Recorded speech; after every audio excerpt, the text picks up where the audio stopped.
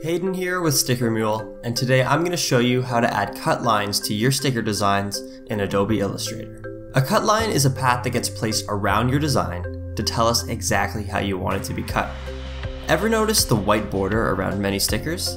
That's what a cut line creates. Now when printing with Sticker Mule, our team will automatically figure out the cut lines for you based on your design. This covers anything from simple sticker shapes such as squares, circles, and ovals to complex and unique designs such as we're going to work with in the tutorial today. So if you don't want to set up the cut lines yourself, you don't have to. But for those of you who want to design them yourself, or understand how we do it, let's jump in. Once we've opened our design in Illustrator, we'll want to make sure the sticker is set up properly for printing. For this design, that means making sure that all of these strokes have been outlined. A good way to check this is by using the outline view. By doing that, I can see that there are two here that I've missed.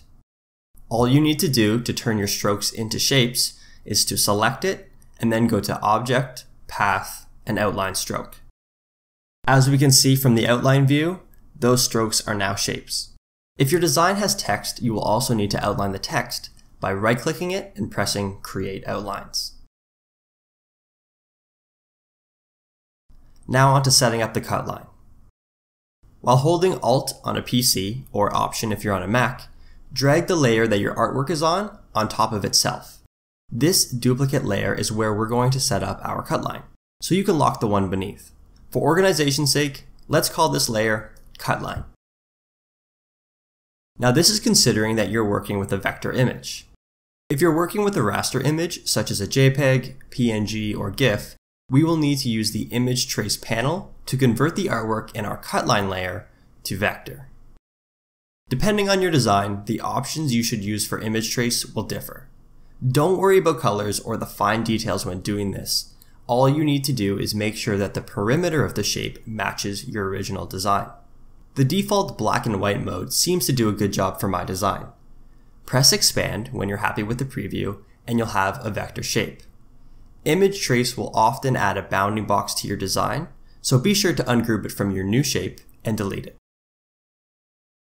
Now, whether you began with a vector or a raster, we continue the same. Select everything in the cutline layer and use the Pathfinder window to unite it into a single shape. Then go to Object, Path, Offset Path. The offset is how large you would like the border around your design to be. By clicking Preview, this will allow us to get a sense of what that width is. When printing with Sticker Mule, remember that there is a minimum border requirement of 1 16th of an inch. When you're happy, press OK. Once we've offset our path, let's select everything in the cutline layer and use Unite once again to make it into a single shape. Depending on your design, you may have a hole in your shape. You can either use the direct selection tool to delete it, or if the hole is larger than a quarter inch in diameter and you would like to keep it, you can do so. When printing with Sticker Mule, we allow one internal cut for each sticker or magnet design. For this design, I will remove the hole by selecting a single anchor point and then pressing the delete key twice.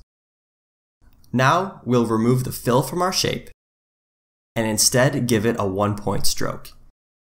This is typically what print shops use for cut lines. It is possible that after using offset path, you have two shapes that are not touching. All you will need to do in this scenario is bridge them together by creating a new joining shape. For this design, I will do this by drawing out the desired shape with the pen tool and then uniting it with the existing shapes. We can also see that there are a lot of undesired holes in this design. Once again, I will just use the direct selection tool to remove them.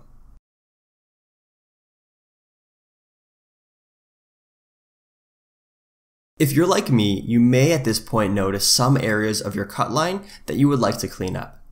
Knowing that this is how your sticker will be printed, go ahead and make those changes. When you're done, save your Illustrator file and you're finished. You can upload your file as is when ordering from Sticker Mule, and within a few hours, you'll receive a proof showing you exactly what your sticker is going to look like once printed. And there you have it. everything you need to know about adding cut lines to your sticker designs. If you have any questions, let us know in the comments. And if you liked the video, be sure to give it a thumbs up and subscribe to stay up to date on future tutorials. Happy designing,